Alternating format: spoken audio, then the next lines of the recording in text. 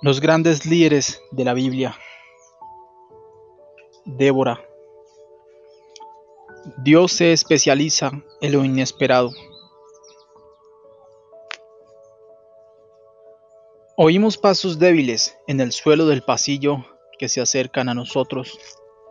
Al momento siguiente, una figura se encuentra en la puerta del estudio. Ella no podría hacer un mayor contraste con Jacob. Era un hombre corpulento.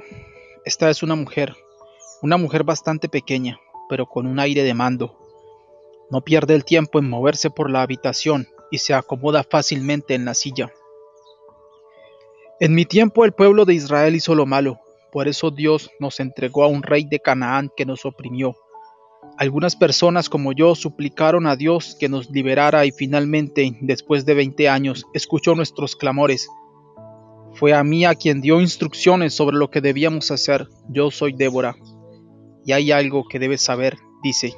Dios se especializa en lo inesperado. Con Dios espera lo inesperado.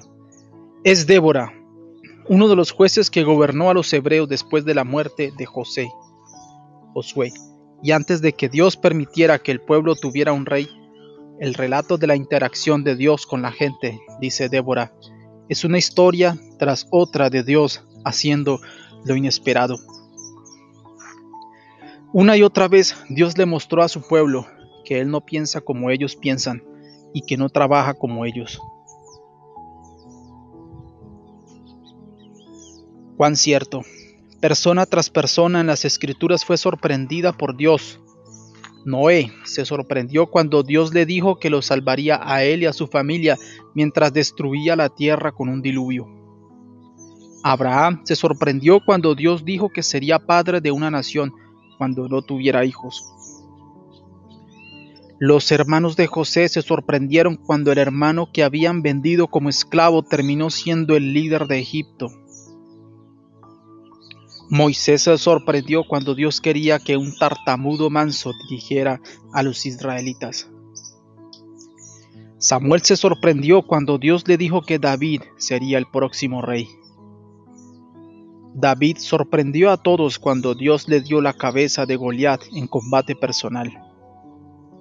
Naamán se sorprendió cuando le pidieron que se bañara en el río Jordán y Dios lo sanó. Y la lista continúa. A Dios le gusta sorprendernos. Incluso la historia de Débora es una ilustración fantástica de cómo Dios hace lo inesperado.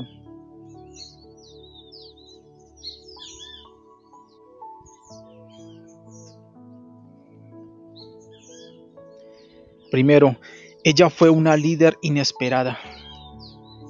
En un momento en que las mujeres tenían pocos derechos y los gobernantes guerreros y tomadores de decisiones del mundo eran hombres, Débora era la jueza de Israel. Ella celebró la corte, e israelitas de todo el país acudieron a ella para que pudiera resolver disputas de la misma manera que los hijos de Israel habían buscado a Moisés cuando estaban en el desierto. Pero Débora también era más que una jueza. Ella era una profeta. A diferencia de todos los demás jueces del Antiguo Testamento, la mayoría de los ángeles. Pero Dios entregó sus mensajes directamente a Débora lo cual era muy poco común. La Biblia tiene registro de solo ocho profetas antes de Débora. Débora era una líder inusual y excepcional, en un momento en que las mujeres normalmente no podían levantarse, pero Dios la levantó, mostrando que le gusta usar a personas que otros podrían descartar. Segundo, ella entregó un mensaje inesperado. Después que los israelitas experimentaron 20 años de opresión, Débora recibió un mensaje de Dios de que quería ayudarlos, y Dios fue muy específico. Quería que Barak comandara 10 compañías de soldados y los preparara para la batalla en el valle del río Sison. Dios entregaría allí al ejército del rey cananeo, y así será el comandante.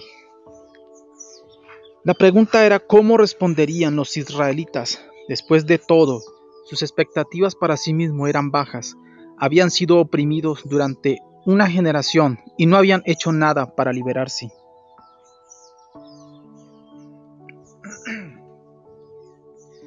Las expectativas de los cananeos con respecto a ellos también eran bajas. Por su cuenta, los israelitas no habrían tenido oportunidad de ganar una batalla. Los cananeos que los gobernaban estaban bien armados y equipados con 900 carros de hierro, el equivalente a tanques contra soldados de infantería, mal entrenados en la actualidad. Pero Dios tenía expectativas diferentes para ellos.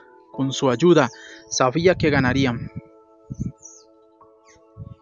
Débora compartía la confianza de Dios, por lo que pudo haberse sorprendido cuando le entregó el mensaje de Dios a Barak, y él se negó a ir a su misión sin ella. Tal vez él creía que no podrían ganar sin su presencia, que ella necesitaba ver la batalla de la forma en que Moisés había visto y orado mientras Josué luchaba contra los amalecitas. Quizás quería que ella muriera junto con él si sus fuerzas eran derrotadas quién sabe, pero ella accedió a ir. Entonces podemos agregar comandante militar a su lista de títulos inesperados, junto con juez y profeta. Tercero, Dios intervino de una manera inesperada. Warren W. Wilsbeth dijo, si puedes explicar lo que Dios está haciendo en tu ministerio, entonces Dios no está realmente en eso. Dios quiere que esperemos y dependamos de Él se deleita en mostrar su creatividad. Las escrituras están llenas de historias, de formas inusuales e inesperadas, en las que Dios derrotó a los enemigos en nombre de su pueblo, usó plagas, confusión en el campamento para que la gente se matara entre sí, tumores y terremotos. Este es el caso, en este, este caso fue agua, una inundación repentina transformó el valle, que normalmente habría sido una excelente zona de preparación para una batalla con carros, en un pantano, atascados en el suelo blando, los carros se volvieron inútiles y los israelitas derrotaron al ejército enemigo.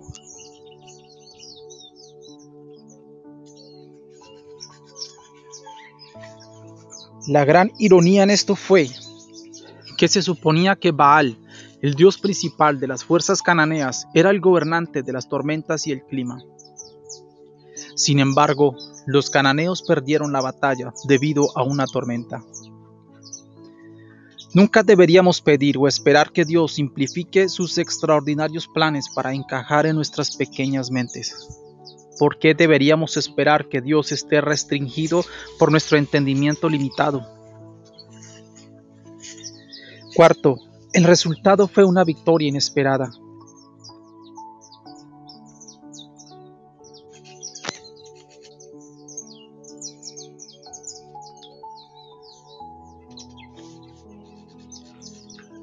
Para las personas que finalmente creyeron en Dios y lo obedecieron, se esperaba la victoria. Pero para el resto del mundo debe haber sido una sorpresa. Así fue como fue asesinado Císara, el comandante enemigo. Mientras derrotaban al ejército de Císara se escapó. Cuando llegó a la carpa de un supuesto aliado pensó que estaba a salvo. Pero cuando se quedó dormido, una mujer llamada Jael le atravesó el cráneo con una estaca y lo mató. Como resultado, la victoria de Israel fue completa. Lecciones de la vida de Débora. Débora es un tremendo ejemplo de líder que tuvo influencia en la vida espiritual, los asuntos comunitarios, el gobierno y el ejército. Estoy seguro de que tiene mucho que enseñarnos. Esté dispuesto a destacar cuando otros no lo esperen cuando, llamé a Barak y le dije que Dios había ordenado que luchara contra el ejército cananeo, la gente pudo entender su vacilación. Habíamos estado bajo el control del rey Javín durante 20 años. Todo el mundo le tenía miedo, dice Débora. Lo que no esperaban era que dijera que sí cuando Barak me pidió que lo acompañara a la batalla. Nadie en Israel había visto nunca algo así. Dios quiere usar a personas inesperadas como tú y yo. Quiere hombres y mujeres que estén dispuestos a sobresalir e ir contra la corriente. Lo que otros piensen no importa. Solo la visión de Dios de su potencial lo hace. No tienes que vivir bajo las limitaciones de las personas porque sirves a un Dios ilimitado. Dios quiere usar a personas inesperadas como tú y yo. Tú y yo somos más grandes de lo que nos ve el mundo. Hay más en ti de lo que tus padres, amigos, maestros, compañeros de trabajo o líderes ven en ti. No asuma limitaciones que no le pertenecen. No importa cómo te vean los demás. Dios puede usarte. Él está esperando y listo para darle la oportunidad de marcar la diferencia. Ya estás en su lista de destinatarios de lo inesperado, como Noé, Abraham y el resto. Dios quiere sorprender al mundo a través de ti.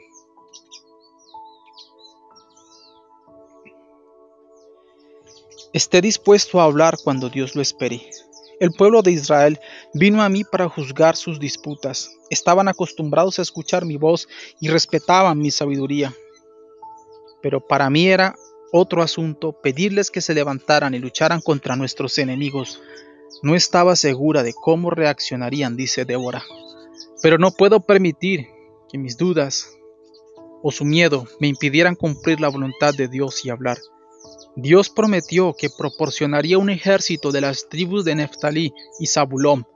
Prometió atraer a Císara al valle del río Sison. Prometió darnos la victoria. No dudo de las promesas de Dios. Son tan sólidos como la roca, dice Débora. No puedes ser siervo de Dios y hacer lo que Él te pide, solo cuando te apetezca o cuando sea seguro. Servir a Dios no siempre es seguro. Hablar por Él no siempre es seguro, pero si bien puede que no siempre haya seguridad al ponerse de pie y hablar por Dios, siempre hay seguridad en Dios.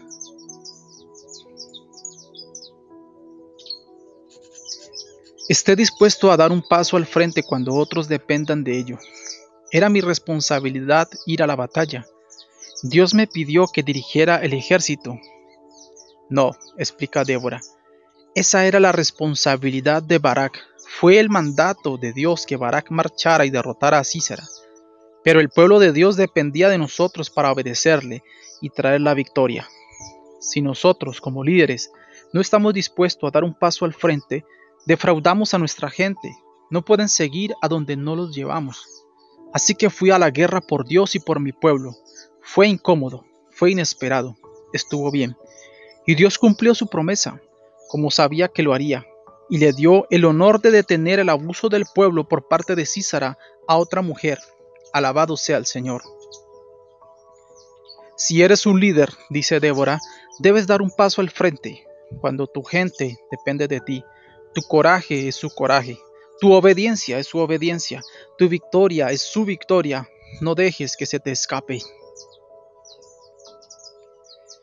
La oración de Débora por nosotros Oh Dios poderoso de Israel, enséñales a mis amigos a tener siempre el valor de abrir nuevos caminos para ti. Concédeles sabiduría, hazlos audaces, dasle la confianza que solo viene de ti y dales la victoria. Amén. Lecciones de liderazgo de Débora. Con eso ella ha terminado. Se pone de pie y sin mirarnos a ninguno de los dos se aleja. Me impresiona la confianza y sabiduría de este líder y gigante de la fe. Podemos ver que fácilmente dominaría cualquier habitación en la que entrara. No es de extrañar que Barak la quisiera con él cuando entró en batalla. El pastor Jack Hayford observó, nada es más limitante que los límites autoimpuestos que ponemos en nuestras propias vidas cuando requerimos que Dios se ajuste a nuestras expectativas. Débora ciertamente no hizo eso estaba abierta a lo que Dios quería hacer.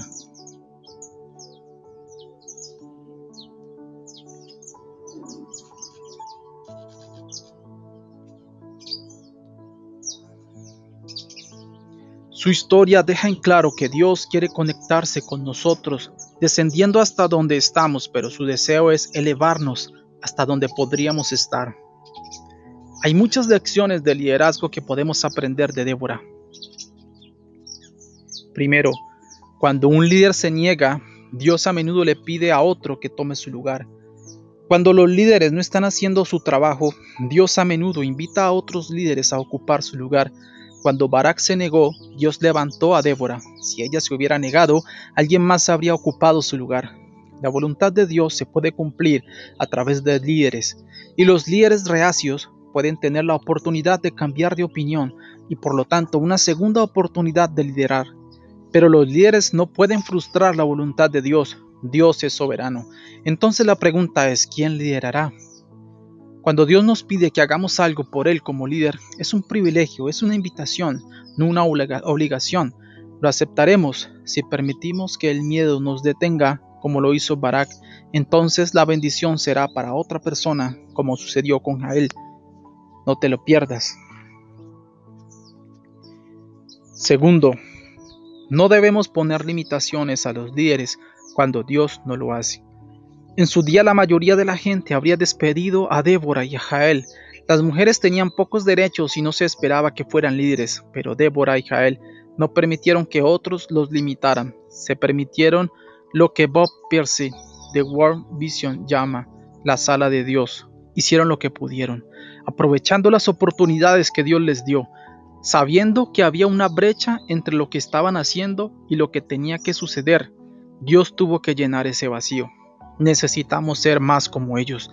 Necesitamos olvidar lo que otros piensan de nosotros, dejar nuestro pasado y hacer todo lo que esté a nuestro alcance para alcanzar nuestro potencial como líderes. Y luego esperar que Dios haga lo que solo Él puede hacer.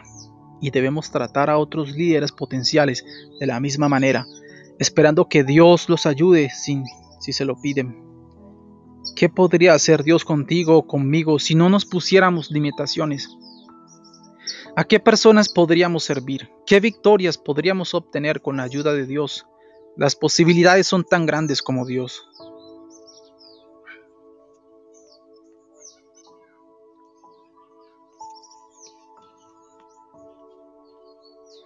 Tercero, cuando los líderes piadosos obedecen el llamado de Dios, la gente es bendecida.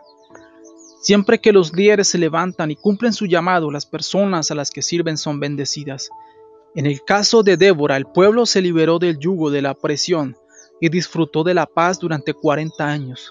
Ese fue un legado fantástico que Débora le dio a los israelitas porque estaba dispuesta a permitir que Dios hiciera lo inesperado con ella.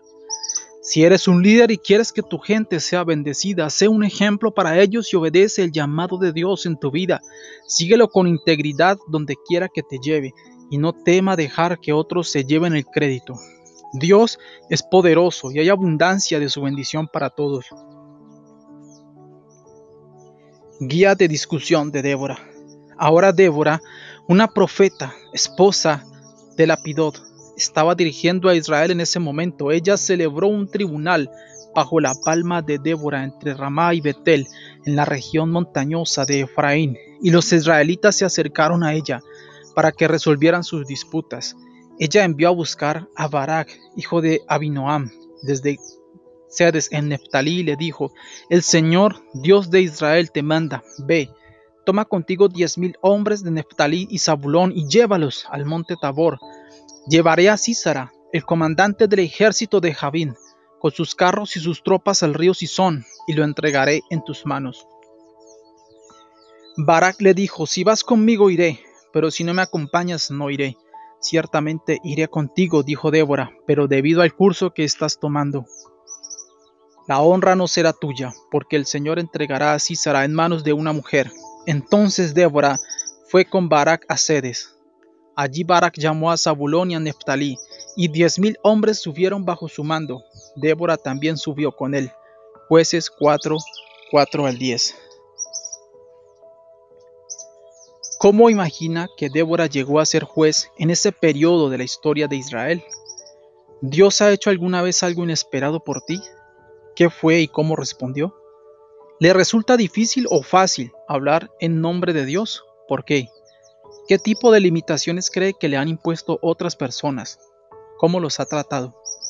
¿Qué crees que podría hacer Dios si pudiera deshacerte de esas limitaciones y confiar en que Él te sorprenderá? ¿Qué necesitaría hacer o qué ayuda necesitarías para deshacerse de esas limitaciones?